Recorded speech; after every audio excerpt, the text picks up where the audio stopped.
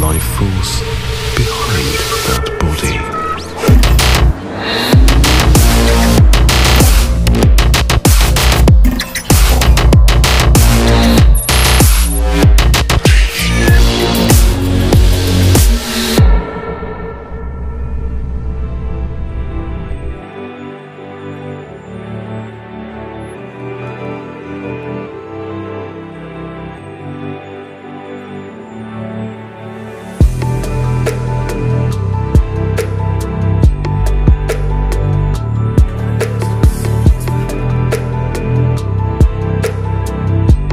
Di video kali ini aku bakal membahas bagaimana cara mengganti langit dengan menggunakan aplikasi CapCut.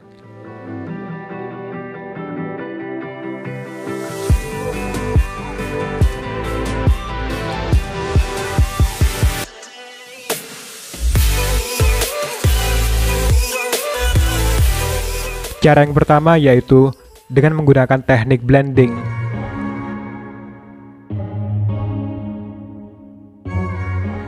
Jadi kita klik new project, kemudian pilih videomu yang akan diedit. Pada tutorial ini akan bekerja dengan baik jika kamu mempunyai sebuah video yang memiliki kontras tinggi, yang artinya pencahayaan di bagian langit adalah cerah, sedangkan pada latar depan adalah gelap. Nah, untuk di bagian ending kita hapus saja. Selanjutnya kita masuk ke overlay dan pilih add overlay. Tambahkanlah sebuah foto atau video langit. Kemudian kita masuk ke menu splice. Di sini kita ubah blend mode-nya yang sesuai dengan videomu. Aku pikir overlay bekerja dengan baik pada video ini. Kemudian scale up dan letakkan pada bagian langit. Dan kita panjangkan durasinya sama seperti durasi klip. Tapi jika kamu lihat lebih dekat, di situ terdapat bagian yang masih belum menyatu karena kontras pada video ini sedikit rendah. Jadi kita klik video utama dan kita masuk ke menu adjust. Di sini akan menambahkan kontras menjadi sekitar 25. Tapi jika kamu lihat langit tersebut terlihat terlalu cerah. Jadi aku menurunkan highlight semuanya supaya di bagian langit menjadi detail. Dan juga aku menurunkan shadow menjadi sekitar min 15. Ya, ini terlihat lebih baik daripada sebelumnya. Selanjutnya, aku akan menambahkan elemen lain. Jadi seperti biasa, kita klik Add Overlay. Di sini, aku akan menambahkan efek cahaya. Dan kita masuk ke menu Splice. Di sini, aku mengubah blend mode-nya menjadi filter untuk menghilangkan layar hitam. Dan aku akan mendapatkan ini sebagai efek cahaya matahari. Jangan lupa kita panjangkan durasinya sama seperti durasi klip. Kemudian lakukanlah hal yang sama untuk menambahkan elemen lainnya.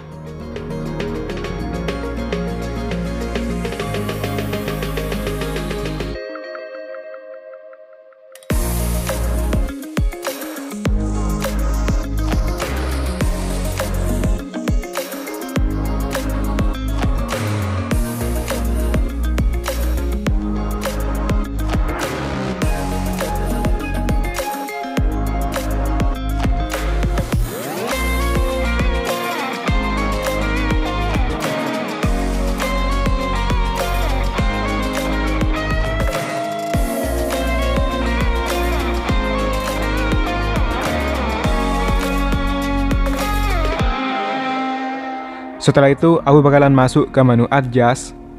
Nah, pertama, aku akan mengatur graph. Di sini, aku akan membuat titik kurva di tengah. Kemudian, aku mengangkat titik shadow di bawah supaya video ini terlihat pudar. Kemudian, aku menaikkan highlights menjadi sekitar 10 untuk menambahkan sedikit efek cahaya.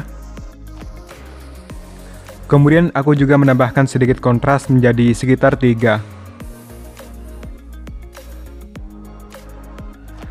Dan aku juga menambahkan efek vignette menjadi sekitar 3.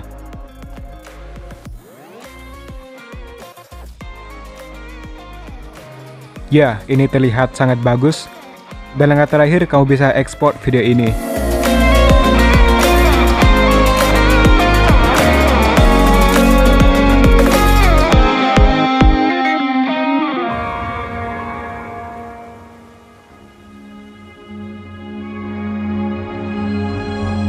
Cara yang kedua adalah dengan menggunakan fitur chroma key.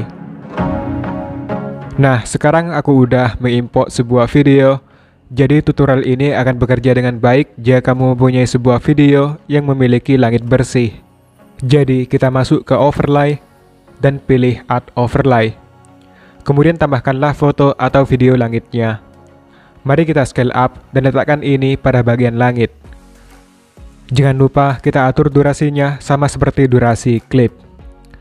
Kemudian aku bakalan masuk ke add overlay lagi di sini aku menambahkan video petir. Kemudian scale up dan aku bakal meletakkan posisi yang sama seperti langit. Dan kita masuk ke splice. Di sini kita ubah blend mode-nya menjadi filter untuk menghilangkan layar hitam.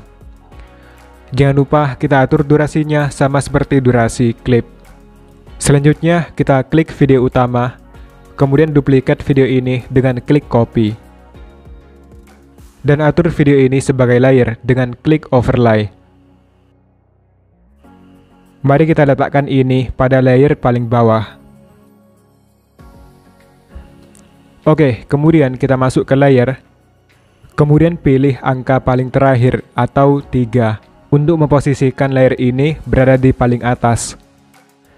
Kemudian kita masuk ke chroma key dan arahkan kursor ke langit. Dan kamu bisa mengatur intensity dan shadow untuk mengatur detail pengunciannya. Di sini aku mengatur intensity menjadi 5 dan untuk shadow menjadi 100. Selanjutnya, kita akan menyatukan pencahayaan dan warnanya. Jadi, kita masuk ke menu adjust.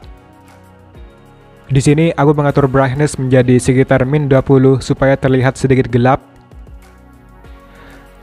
dan untuk shadow menjadi sekitar min 15. Kemudian aku menurunkan semua temperaturnya supaya latar depan menjadi kebiruan. Nah, supaya lebih menarik lagi, aku bakalan masuk ke menu effect, kemudian pilih video effect, dan pilih di bagian basic.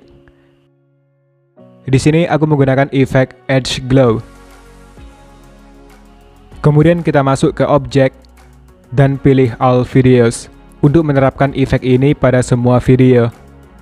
Jangan lupa kita panjangkan durasinya sama seperti durasi klip video. Dan kita masuk ke menu adjust. Di sini kamu bisa mengatur efek glow-nya. Jadi aku mengaturnya menjadi sekitar 5. Ya, ini terlihat cukup bagus. Dan ini adalah hasilnya.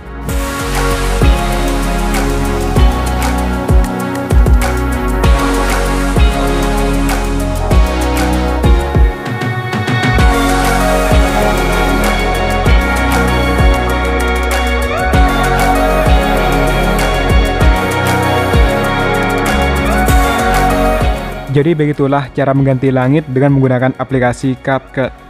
Aku harap kamu bisa mencobanya di rumah dan terima kasih banyak telah menonton. Jika kamu suka dengan video ini silahkan tinggalkan like. Jangan lupa follow instagramku. And see you next time.